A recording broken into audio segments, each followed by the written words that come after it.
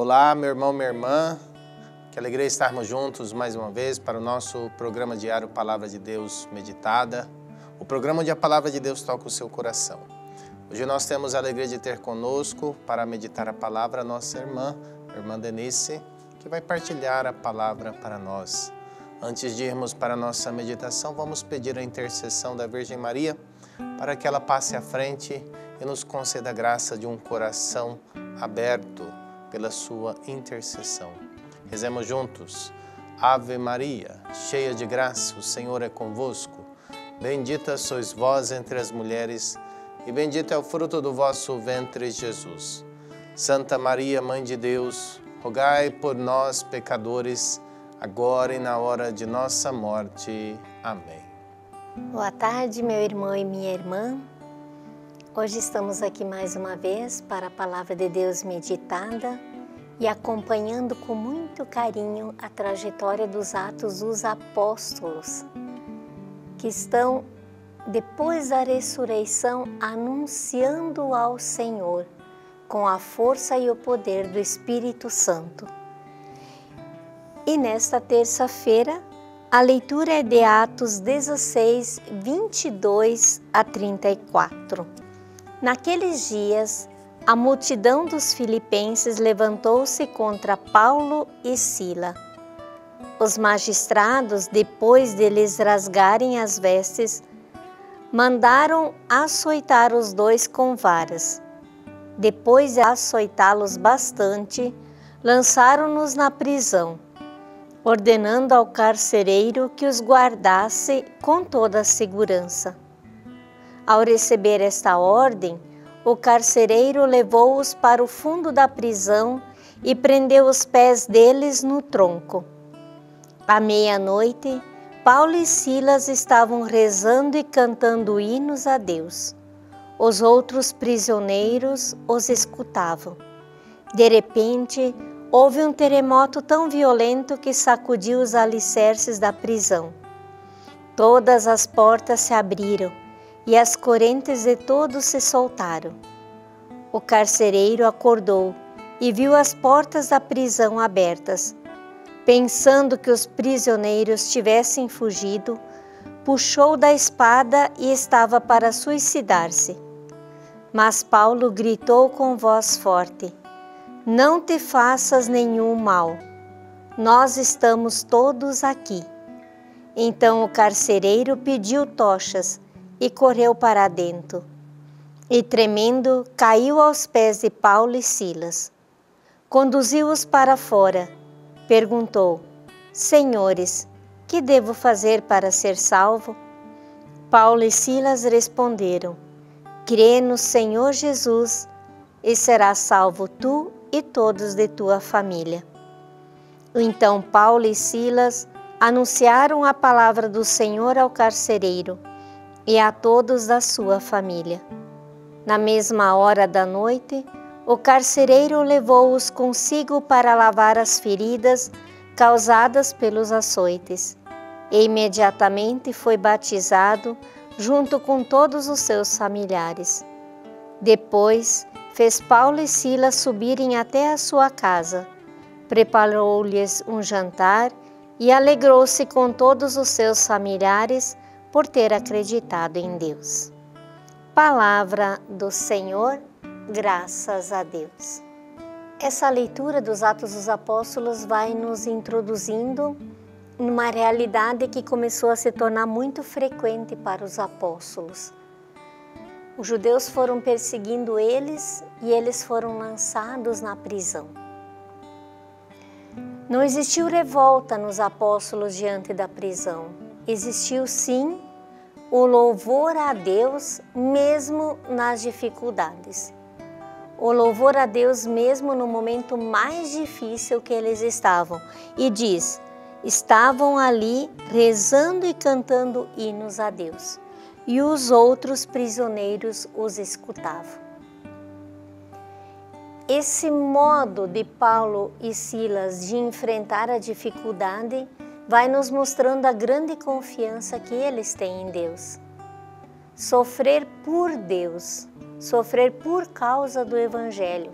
Esta era a razão dos apóstolos não desistirem e não desanimarem.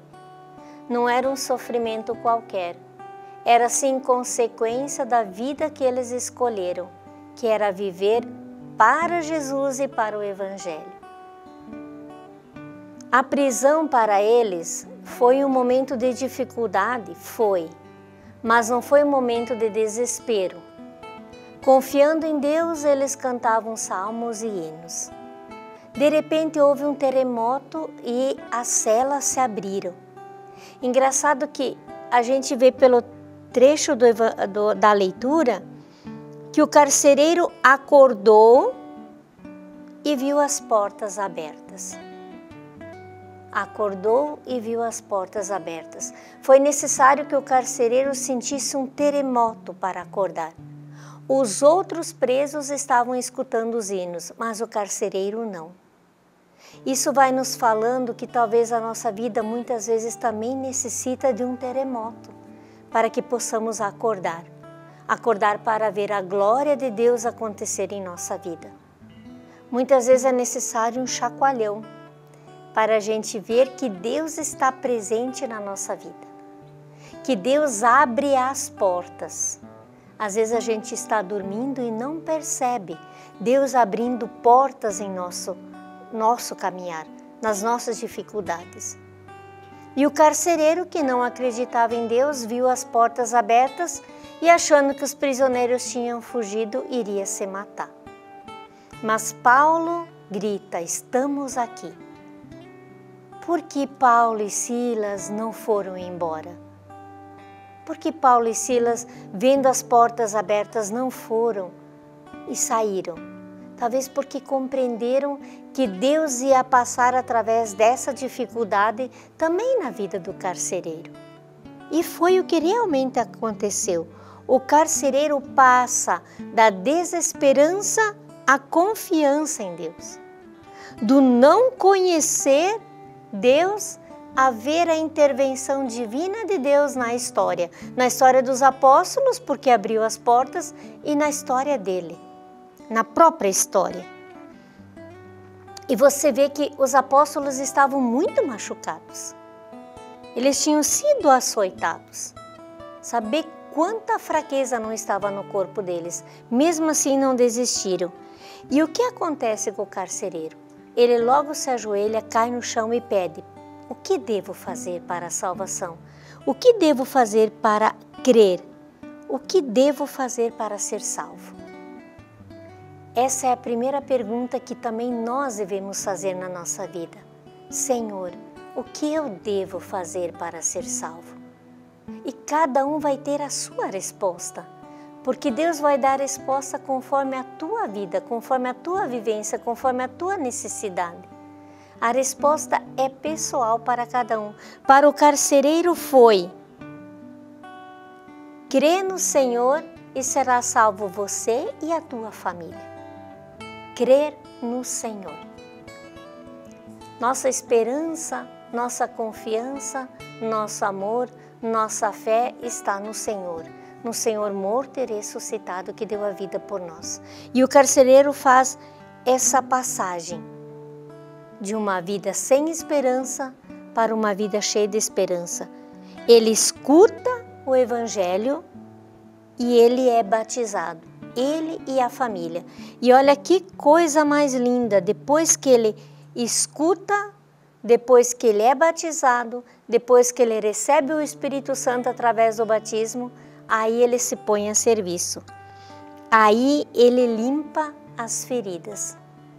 Ele cuida de Paulo e Silas que antes tinham sido açoitados.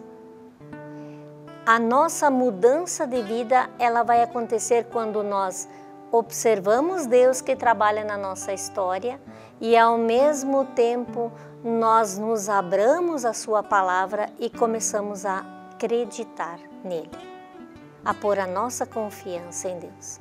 Essa realmente é a trajetória da nossa vida.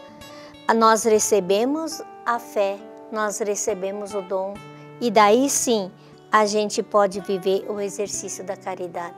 E olha que lindo o final. Subiram até a sua casa, preparou-lhes um jantar. A caridade se torna completa. Não foi só curar das feridas, mas foi também mostrar a sua alegria. Prepara um jantar, por quê? Porque todos estavam alegres. Ele diz: E alegrou-se com todos os seus familiares por ter acreditado em Deus. Crer em Deus, viver a salvação, nos colocar a serviço, só nos traz a verdadeira alegria. Alegria verdadeira de servir ao Senhor. Alegria verdadeira de ter Ele dentro de nós. É uma alegria que não é a alegria do mundo, mas é uma alegria que vem de dentro, que não preciso de nada de exterior para ser alegre, muito menos ser alegre somente quando eu bebo, por exemplo. Não, não é essa alegria. É uma alegria que vem de uma profundidade e que me faz também cantar salmos e hinos, mesmo quando eu estou na dificuldade, assim como Pedro, Paulo, desculpe, e Silas. Essa é a grande alegria que hoje a leitura quer nos dar. Alguém que é capaz de enxergar as belezas de Deus, de receber esse chacoalhão do terremoto, poder ver que Deus age na história da, da vida humana e, ao mesmo tempo, crer na Sua palavra. Não tem outro caminho para a gente poder realmente dizer: a alegria do Senhor é a nossa força. Então, meu irmão e minha irmã, que também nós possamos, nos chacoalhões da nossa vida, quando os terremotos da nossa vida acontecerem, a gente poder olhar as portas que Deus vai abrindo e a gente poder realmente perguntar: Senhor, o que queres que eu faça? Que queres que eu agora acredite? Aonde queres que eu vá? E possamos realmente confiar nesse Deus, nesse Deus que faz a história na nossa história assim como esse carcereiro de Filipos, que curou as feridas e provocou uma grande mudança na sua vida e da sua família. Louvado seja nosso Senhor Jesus Cristo, para sempre seja louvado.